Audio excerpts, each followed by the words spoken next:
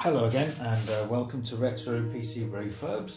Uh, today I have a computer here, um, bought off eBay, so I'm just going to open it up just to make sure everything's okay and see which one it is because I've bought two.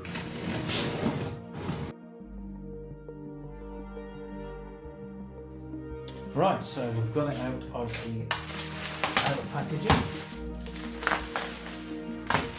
One of these is a mystery, and the other one I know what it is. So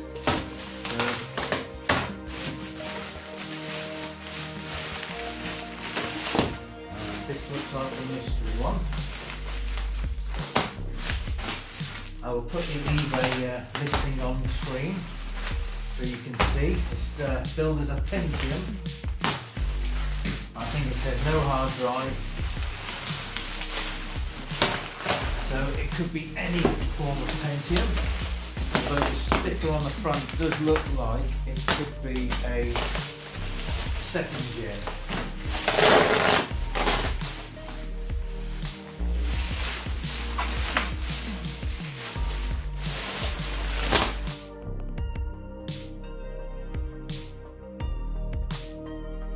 Okay, so here we are.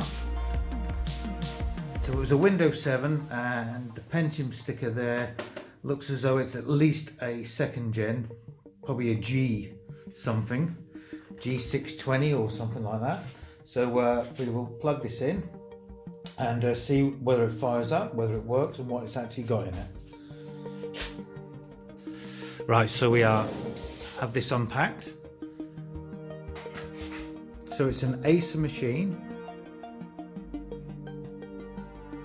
Uh, Acer Veriton. So it is a Windows 7 machine, so hopefully it's fairly modern. The only thing uh, on the back, there is no HDMI, it's only VGA, which is worrying. Um, and there's no USB 3. so they're all USB 2. Looks as though it has had a graphics card in, but that has been taken out. Um, so we'll fire up and uh, we'll see whether it starts, see whether it works.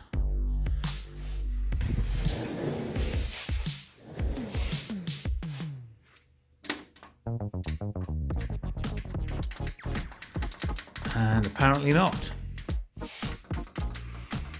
So, I will open this up. Right, okay, so I turned it over, took the top off and uh, pressed the button again and I got a post beep. Um, but there was nothing coming out of uh, the VGA, so the motherboard or the CPU might not have on board uh, or something's not going right. Um, so I've just put a graphics card in and I'll turn it back on now.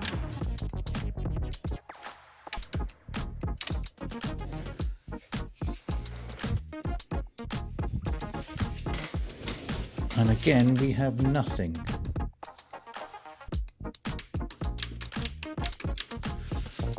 I I did take the there we go.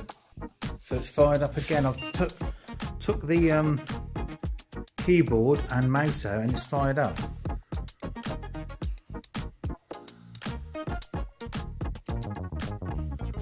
So it's uh, uh, it's got a Pentium dual core in there so it's uh, socket 775. Okay, it's absolutely filthy as you can see. Really, really caked full of dirt. So what I'm going to do now, I'm going to plug the keyboard and mouse in and see whether the computer goes off. And again, that seems okay.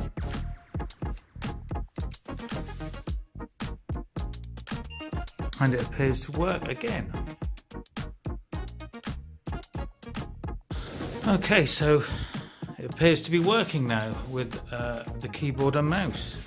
So whether these have not been used for a while and they're so dirty that it is taking, uh, by pulling it in and out, it's um, making things work.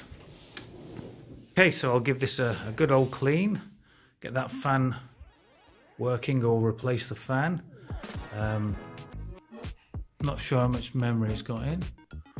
DDR2. So three gigs. I'll see which see what sort of CPU I can put in here. Probably quad core LLG, at LGA775.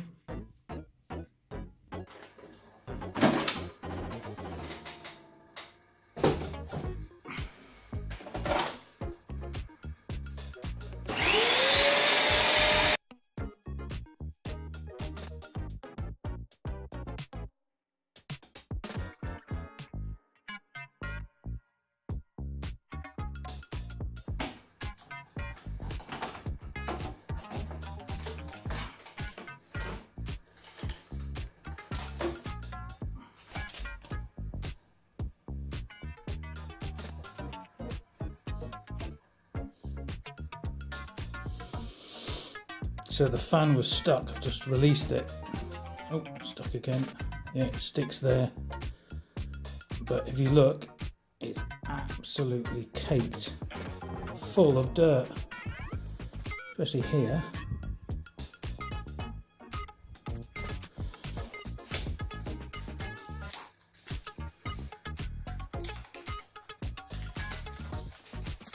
So this stuff uh, seems sticky. Um, although it's dust, or most of it is dust and, grime, um, it feels and seems sticky, so I have no idea what it actually is.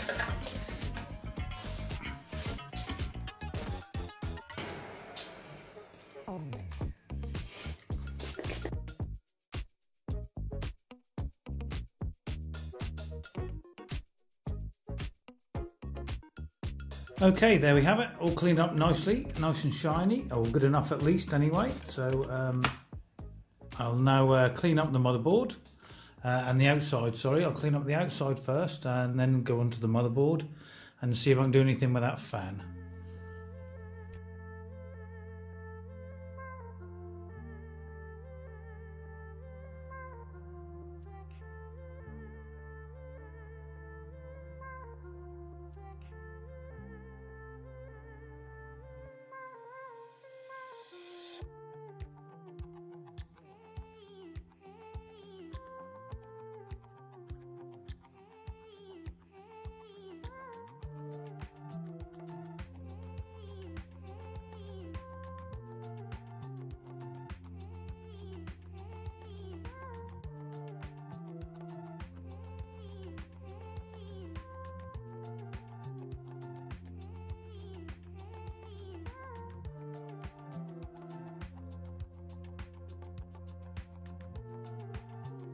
So we have the Q9450 and hopefully this is compatible with this board. Um, Googling, uh, Googling online, um, it says it takes a 9400, um, so the only difference is the 12 megabytes of cache, uh, whereas the other, uh, the 9400 has uh, 6 megabytes.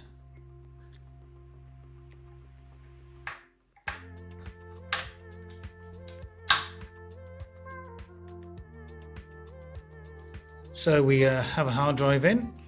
Uh, everything's connected up now. The fan's clean. Uh, still need to get that little bit of dust around that cowling there. Um, everything's looking quite uh, clean and shiny. Windows is loading. And then when I have found an appropriate graphics card, probably going to be the 650 GTX 650. So we're really only looking at uh, esport games and I'll see what actually will play on the Q9450. Um, obviously it's not got SSE uh, 4.2 so some games will not run anyway but see what we can get going.